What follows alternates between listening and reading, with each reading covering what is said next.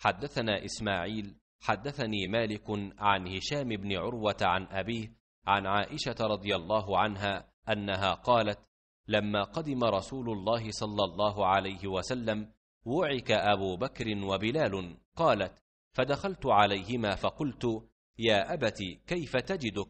ويا بلال كيف تجدك؟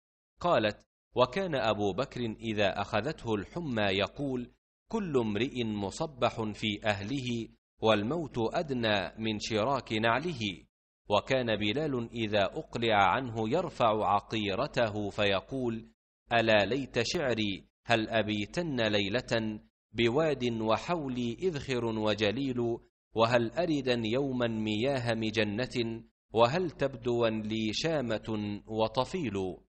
قال قالت عائشة فجئت إلى رسول الله صلى الله عليه وسلم فأخبرته فقال اللهم حبب إلينا المدينة كحبنا مكة أو أشد وصححها وبارك لنا في صاعها ومدها وانقل حماها فاجعلها بالجحفة.